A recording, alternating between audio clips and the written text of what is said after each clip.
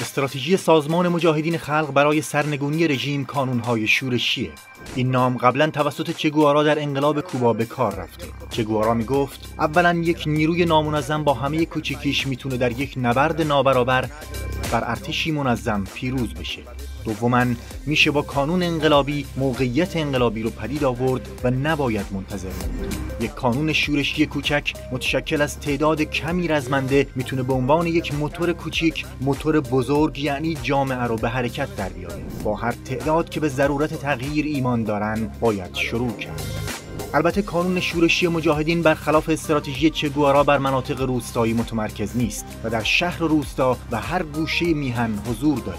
با این همه کانون شورشی با تیم‌های چریک شهری زمان شاه یا اوایل زمان خمینی تفاوت دارد چریک ها در ابتدای راه مبارزه بودند ولی الان پس از این همه اعتراض و تظاهرات و قیام و تکامل مبارزه ما در انتهای راهیم. چریک ها نفرات ویژه با تعداد محدود بودند ولی کانون های شورشی آدم های معمول و البته معترض جامعن و از دانش آموز و دانشجو تا راننده و زن خاندار در میان اونها هست. اونها فهمیدند سکوت چاره کار نیست و انتخاب کردند جلوی ظلم زانو نزنند انتخابی زیبا برای رهایی.